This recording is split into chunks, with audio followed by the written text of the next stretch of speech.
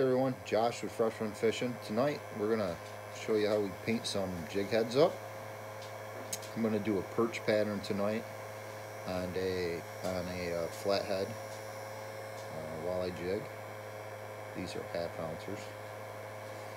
And to do a perch head, I like to use three colors. Um, a, a dark color on the top, a orangish on the bottom, and then kind of a transparent um, over all of that, a transparent yellow. So we'll be doing that. I use a lot of times um, a little paintbrush to add my paint and you'll see how I do that. Uh, so the three paints we're using tonight, this is a color I mix up. It's a uh, like a transparent yellow it comes out a little darker so it's not super uh, see-through. There's another color. This is like a, a black smoke kind of with a little sparkle. We're going to use that on the top. And then just a plain orange. These are all powder paints. And then we'll bake them in the oven um, for super hard and durable cure. So I, I paint most of my stuff with a heat gun or heat it up with a heat gun to get the powder paint to stick. It's going to take me a little longer than usual tonight. I got the heat gun on super low just so you guys can hear me talking. So we're going to start by uh, placing our jig under the heat gun. And usually when I've got the heat gun on high, this doesn't take long at all, 20 seconds or so. But I'm going to set the heat gun over here and, and do that. Keep talking to you guys. Um, so after our jig heads are baked, and if you're using powder paint, I recommend that you bake them at the proper temperatures. It usually shows them uh, the temperatures to bake them at right on the back of all the paint jars. I'm going to show you a few other tricks tonight. I used to like to keep a lot of my stuff secret, but I keep enough secret where people can't figure it out. It seems everyone's making lures and copying everyone and doing this and that, but whatever. I guess we're all in it together to catch fish. Oh yeah, that's getting hot. Alright, so I'm to start on top. I'm going to take this and just get a little paint on the bristles of that brush. And we're kind of going to fluff them off like that. So here's the top of the perch head. Nice dark color with a little sparkle in it.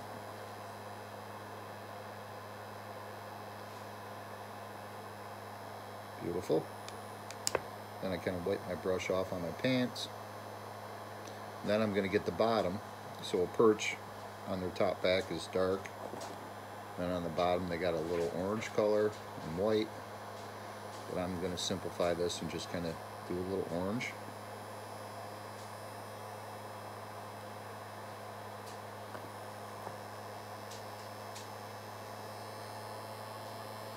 And you see how I'm just sprinkling that over there? When you first do it, um, you, you kind of got to get a feel for it. You'll put too much on, and uh, that's understandable. So I'm just heating this up again. I got a couple pair of, yeah, I'm sure you guys all smoked naughty stuff with these back in the day. A couple pair of different roach clips that I'm using. So right now, my top, you can't really see the dark color too great. Um, but I got the orange and then the dark on top. And this is super hot, so I'm not going to grab it or touch it. So I'm just going to transfer it over to the other set of roach clips or whatever we're calling them. And now I'm going to dip the whole thing into this transparent yellow right here. So I'm going to heat it up a little more. Usually I wouldn't have to heat it up again, but like I said, I'm running my heat gun at a super low temp tonight. So you guys can hear me. And then quick swish through.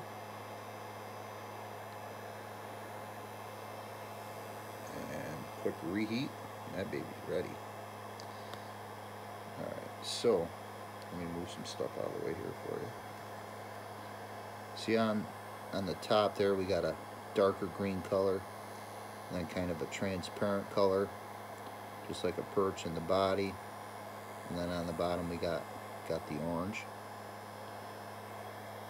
And I with these uh, personally when I make these sometimes I'll do I'll do the lines on them like perch lines and all that.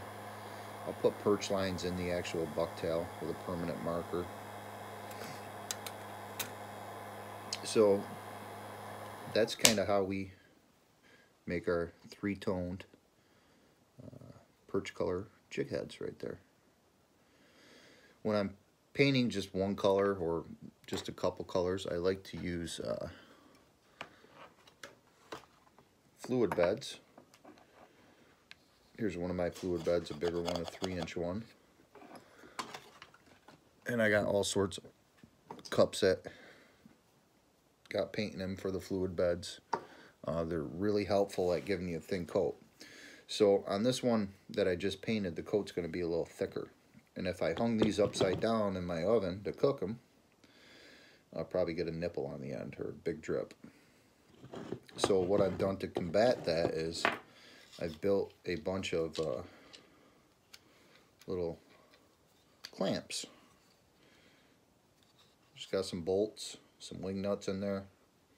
These are just pieces of pine wood that I've used and cut to size to fit my oven and I'll clamp up like 12 or 14 of these heads at a time. Clamp them up. So this way when they drip now, any of the excess paint is going to drip down to here in the tying area. And I don't use up the whole tying area when I tie a jig head. So any of that excess will, it won't bother me. It'll be okay that's just a quick lesson on how we paint the uh, perch heads. So a darker color, used a smoke here with a little sparkle in it, an orange on the bottom, and then a transparent or candy yellow. I add a little something to it to make it a little darker. Um, that's our basic perch head right there, clamped up, Fresh Run Fishing.